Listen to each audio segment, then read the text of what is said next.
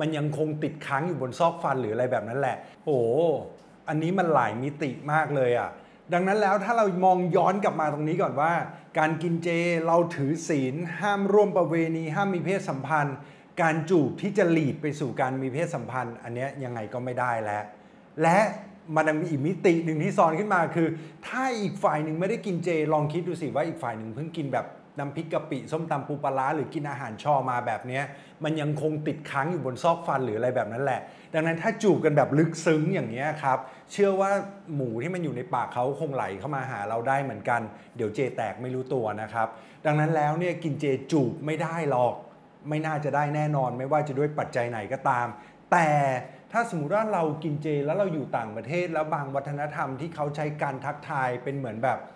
มีการแบบแตะๆกันนิดนึงหรืออะไรเงี้ย อันนั้นก็